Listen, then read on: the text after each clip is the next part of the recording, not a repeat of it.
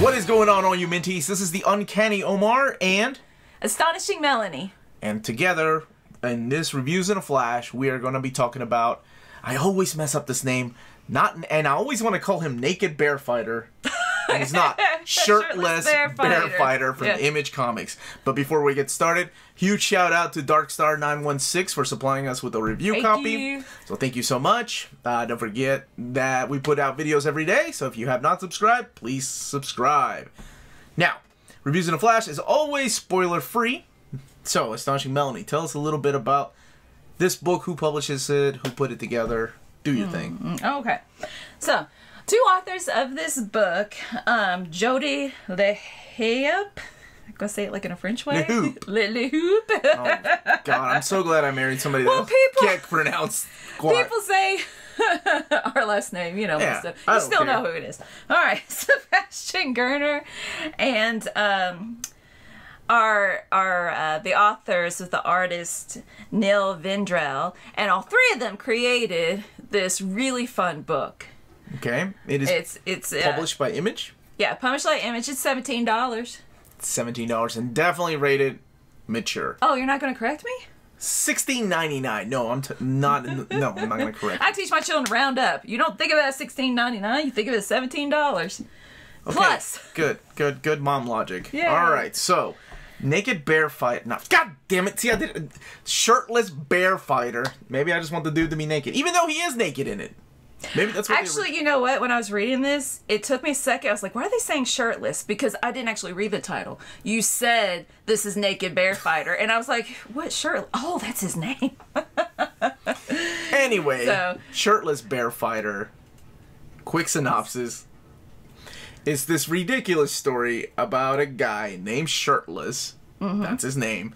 Who lived once upon a time in a bear community, and in this world, bears talk. Right? They're like Yogi Bear. Mm-hmm. They're not cartoony. They're they're like our bears, but they talk Yeah, yeah. and he lived with them because his mother left him there and through a series of unfortunate events the love of his life is murdered or killed by a fellow bear member i'm not going to say who and he's lived by himself and has sworn an oath to fight bears the rest of his life so we meet him when he has a beard uh, the part that cracked me up i think i, I lost it when the baby had a beard and- yes, and at first he is he's he's completely nude, right? So it's pixelated penises. Okay. Well, now, that, now let me have a turn.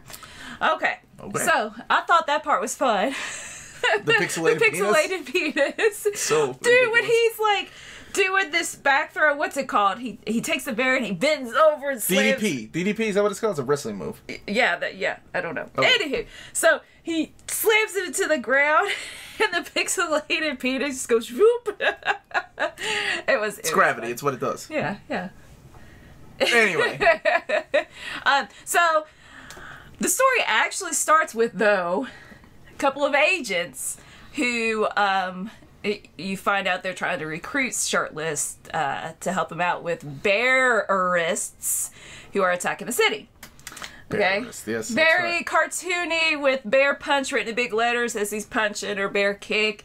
Uh, it reminds me of Adult Swim humor when Adult Swim was good. Tear, tear. it might still be. it good. might still be good. I haven't watched it in years because um, it start. I like the humor that's random, but it's also witty, and that's why I enjoyed this book. If it's just random for random's sake to be weird, then it's not funny. Um, but you know, it's got. It, it, it's to me, it's it's cheesy, but it's still witty. just the different play on the word bears. Uh, that he's fighting these bears, and then it goes to the Chicago Bears, and then the Bears in San Francisco, Which are their codpieces on Bears, it. guys, gay guys, gay. They're guy- big hairy and hairy, yeah. Yeah. Um, so it's just it's it's a fun book. I think uh, you probably appreciate this, right? Like you give an example of the tropes they would use, like the movie tropes of the stereotypical storyline. Yeah, it's very Rambo esque, right? Yeah, Like, where- but Rambo 2, where they come and recruit Rambo, and Rambo's like, I'm not gonna do it. And same thing, he's like, I'm not doing it. And then he jumps on the helicopter, he's like, I'm let's go fight some bears. So let's let's talk about the artwork while we look at it. So here's So- the front of the book Everyone, I did try to get my husband to uh, and the back. be shirtless for this episode, You but are he crazy. Nope, denied the love. not gonna do it. So this is how shirtless bear fighter kicks off. Like I mentioned, there are bears attacking the city, and of course, this is why maybe I called it Naked Bear Fighter. Yeah, Because of this scene and the pixelated penises. Yeah, Um, So you know, I mean, there's if the shot I was talking about. we did say it was mature rating at the beginning, which is really odd because it's. I find it odd that they do this and then they like black out curse words like the f bomb and stuff like that. Did Or- they? Yeah, I thought Oh. that was really weird. I think uh, it's just because this is so over the top ridiculous, and it's just I think it's funny to to bleep out the curse words while you're at it. Oh, oh, here's the baby. Here's the baby with the. Uh, Oh, yeah. That's the part that I had to put the book down and laugh. It may not be for everybody, honestly. It may this, these may not be your kind of jokes, but I don't know. It worked for me. So this is the part we were talking about earlier, how it just kind of gets ridiculous. He goes to a circus, he goes to New Orleans, he goes to New York and gets attacked by teddy bears. He goes to Chicago, Chicago, goes to San Francisco. San Francisco, where he goes to a bear club. It just got ridiculous like that.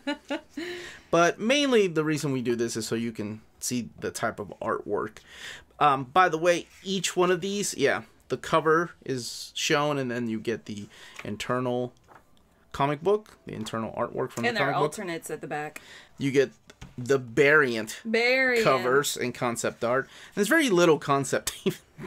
Actually, I mean, I why would, would you buy that? I would put that in a CGC. That's awesome. oh, there was this ridiculous character too. We didn't want to really dive into it too much. Let you all enjoy it and check it out. What is that even a cover? I guess it is. Maybe it's front back. So I know Skottie Young did one. Yeah, this Yeah, one here when he was a baby. That, that's good. I like this one right here. yeah, that's Jerome Pena. His artwork is spectacular. And yeah, this is the concept art back here. So not very much. And then what the creators did. By the way, he did uh, Weatherman, which is another book we Yeah. reviewed a couple uh, like- last year. It was really good. Now that you've seen the kind of artwork to expect when you open this book, when you read this book by Nil Vendrell, we'll talk a little more about what this book was and how we felt about it before we give our final score. So I'll let you Mm-hmm. talk a little more. Like, what did you think overall of the plot? You said it was it was witty earlier, but what did you think of the plot and how it ended? Because this is an all in one. There is Yeah, no yeah. more after this. Um, another story would be fun though, or maybe something similar to it. Um, the the villain, it kind of was eh for me. Just the whole the the jokes about toilets and stuff like that. Um, I don't know. I guess I'm picky about my humor. Okay. um, So it, for me, it did slow down a little bit, which is okay. Like I said, it's still a fun book. I liked it. Um, I just feel like you know, I feel like that with a lot of movies. I like the first act, but the second most, and third. People, most people look forward to the third act. I like, yeah, I just, uh, I like the character. um, Of shirtless? Or yeah, no, I mean, I like the character deposition. Is that the right word? You're the English master. I have no idea what you're talking about. Anywho, I just like the intro stuff and the fun parts before it gets into action. Anyway. um, I will say so. I think it was a total of five issues, if I'm not mistaken, and I love the first issue. Like the whole book itself took me about 30 minutes to, to read. It's not that yeah, long it's, it's not a dense read. and it does, it's not heavy dialogue or anything. It's just fun, and I Mm-hmm. think that's the best way to describe it. However, I think the the fun and the and the fun factor and the jokes kind of become a little stale towards the end. Oh, okay, like- so we agree. Yeah, I, Mm-hmm. I, I do. Like I, I wanted to see more. I wanted to see more of like what was happening at the beginning, which is just random, ridiculous fighting. Instead of getting into deep character development as to why some of these characters are doing the things that they're doing, such as the betrayal, which I'm not gonna say who, in there. uh, You know, and I wanted to. I wanted a better ending, but overall, it was a fun book, and Yeah, maybe it, it feels like the excitement has kind of died down yeah, by the end. Maybe they were trying to pad it out. I don't know. I like. uh I mean, the, the jokes still they were still coming. Like how he was able to how they villains found his weakness, which is putting a shirt on. They put a shirt on. him. Spoiler. His damn name is Shirtless Bear Fighter. Anyway, what would you give this book out of? Let's do out of ten now. Out of ten, what would you? give Oh no! You missed. I can't handle that.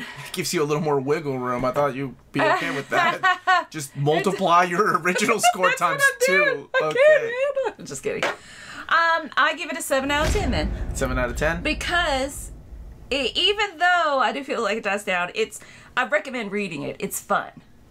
So seven out of ten. Yeah, if you want to break from the norm, if you Yeah, want to, you know, yeah. cleanse your palate, is what I like to call these kind of stories where you're reading something so dense. so fancy. yeah, me and my wine drinking. Um, but seriously, it's like when you're reading something so dense, or you're reading something from the Silver Age that's Yeah. so heavy dialogue, you look forward to little breaks like this, or manga for that reason. So honestly, kind of reminds me and reads like a manga. Ridiculous, makes no sense, and you've kind of fallen Yeah. in love with how But like I said, silly it is. it, yeah, it's silly without being completely random. Being like, what in the world? Yeah. Yeah. So But same, seven out of ten for Oh, me too. cool. So high good seven. job. Good thing we don't talk ahead of time before we do this, because yeah, Yeah. it, we never know where we're gonna go. Because I don't talk to you. so- I don't know. I text her every once in a while. Oh my gosh. I'm just She's down here making videos all the time. So thank you all for watching. Thank you very much. Thank you to our Patreons and subscribers. If you haven't subscribed yet, please hit that subscribe button uh, for overviews, retro views from my husband. Sometimes our daughter getting on here and reviewing. She's awfully cute. So, Yeah. Uh, we can be found on Redbubble and Patreon, and thank you to our existing patrons. I already said that. This is why I suck at signing off. Please come back to the channel. Everybody, please stay healthy, safe out there. Much love to everybody. Stay geeky. God bless.